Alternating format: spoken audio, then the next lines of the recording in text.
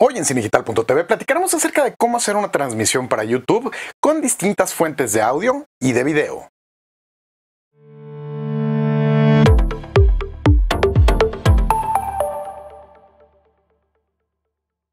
Hola, ¿qué tal? ¿Cómo están? José Luis de cinedigital.tv y bienvenidos al programa del día de hoy. Seguimos hablando acerca de streaming y hoy en particular vamos a hablar acerca de una de las maneras más básicas de hacer streaming directamente hacia YouTube. Obviamente sabemos que podemos hacer el streaming utilizando la, webcam de nuestra computadora. Sin embargo, en el 99% de los casos eso no es ideal y tampoco es profesional. Así que necesitamos utilizar una cámara que tenga eh, mejor calidad y evidentemente mejor audio.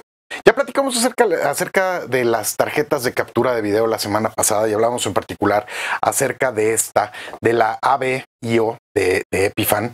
Esta es obviamente la que nosotros, la que nosotros usamos y la que nosotros recomendamos. Es, es una tarjeta de captura súper potente, con mucha funcionalidad. En este caso no vamos a utilizar el tema de 4K, sin embargo, vamos a utilizar todas las, las funciones. Ahorita en este momento, en la parte de aquí arriba pueden ver, está conectado un cable HDMI.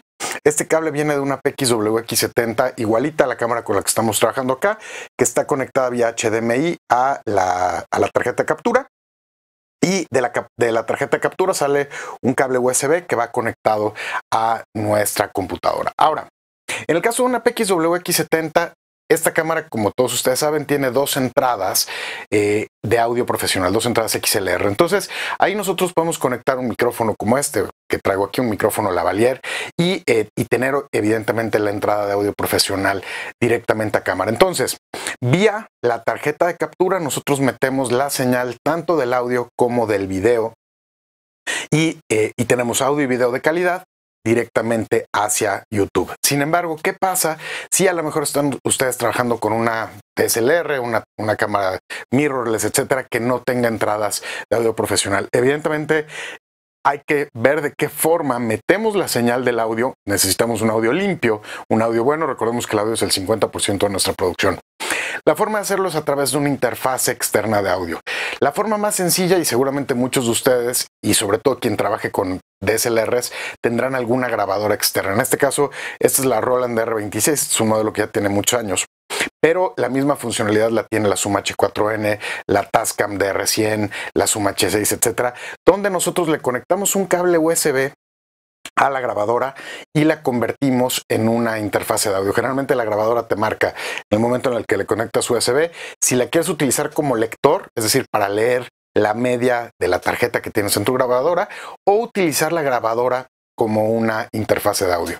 Si lo utilizamos como interfase de audio, si nosotros configuramos, por ejemplo, esta grabadora para que utilice los puertos de entrada XLR, esta señal de los XLR va a ser lo que va a mandar vía USB a nuestra computadora y por consiguiente nosotros vamos a poder seleccionar dentro de YouTube la fuente de audio que queremos utilizar para, eh, para nuestra entrada. Entonces, de esa forma es como lo podemos hacer. Entonces seleccionamos la, entrada de video de nuestra tarjeta de captura y la de audio de un dispositivo como este, una grabadora de audio, o en su caso una interfase dedicada o incluso, por ejemplo, un micrófono eh, USB. Recordemos, por ejemplo, el NT USB de Rode es un micrófono que se conecta directamente vía USB a nuestra cámara, a nuestra computadora y nos sirve como micrófono y como interfase de audio. Entonces podemos utilizar esa como fuente y la entrada de, la otra forma. Entonces tenemos eh, distintas opciones. Ahora, ¿cómo lo hacemos directamente en, eh, en, en, YouTube?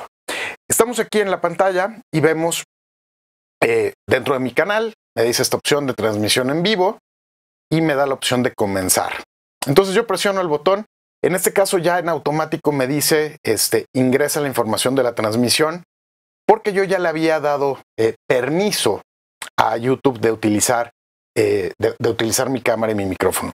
Sin embargo, si no se lo han autorizado, les aparece una ventana donde dice eh, que debes dar permiso a tu cámara y tu micrófono y aparece un iconito aquí en la parte de arriba. Dice, esta página tiene acceso a la cámara y al micrófono. Yo lo presiono y aquí me aparece esta opción y me dice qué micrófono y qué cámara quieres utilizar. Yo le doy clic aquí en administrar y me aparece esta eh, pantalla de configuración.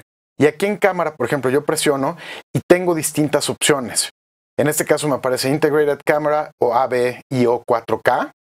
es decir, la webcam de la laptop, esta estoy en la, en la Lenovo P70, o la entrada de AVIO 4K. Entonces esta, bueno, la dejamos como estaba porque estamos utilizando la, la, capturadora de Epifan, la AVIO. Y en el caso del micrófono, aquí vemos que tenemos varias opciones. La primera es AVIO 4K audio, que es el audio que viene directamente de mi capturadora de video. Y tenemos distintas fuentes adicionales. Varias de ellas es, eh, varias de ellas aparecen como varios micrófonos Realtek High Definition Audio, que estas son las entradas de audio de la computadora como tal. Y vemos que me aparecen aquí distintas que dicen predeterminado IN R26, IN R26, IN R26. Todas estas son las entradas de audio que me está dando mi grabadora Roland eh, R26. Recordemos R26 es el modelo de la grabadora y entonces así me aparece. Entonces, si yo quisiera utilizar el audio de mi grabadora, simplemente selecciono aquí, por ejemplo, predeterminado IN y listo. Entonces yo ahí ya administro y entonces aquí selecciono eh, el, el audio antes de entrar a la transmisión y aquí selecciono la cámara que voy a utilizar. Entonces le doy clic aquí en listo. Aquí tengo también una opción que dice más opciones y yo puedo incluso también desde acá seleccionar las fuentes que yo tenga habilitadas, más o menos lo mismo de lo que habíamos hablado en el panel de aquí y me aparece qué cámara quieres utilizar, le digo AB y O y qué audio, le digo el predeterminado que es el INR26 o en su caso, como se los comentaba, el de AB y O y con esto yo le doy clic en siguiente y con esto se configura ya mi stream. Vamos a ponerle aquí eh, prueba, vamos a dejarlo como privado. Siguiente. Vemos que ahí aparece y me aparece ya el botón de transmitir en vivo. Entonces, aquí lo importante es ver cómo combino las señales en el caso de que mi cámara no tenga una entrada de audio profesional o si tiene una entrada de audio profesional simplemente utilizar la misma tarjeta de captura de video, ya sea eh, directamente en mi cámara o utilizando alguna, eh, alguna grabadora o alguna interfase de audio para meter señal adicional. Pues si tienen alguna duda, algún comentario, por favor visiten la página en www.cinedigital.tv y haremos todo lo posible por contestar sus dudas. Pues me despido, mi nombre es José Luis Tamés y nos vemos en la siguiente de cinedigital.tv. Muchas gracias. Adiós.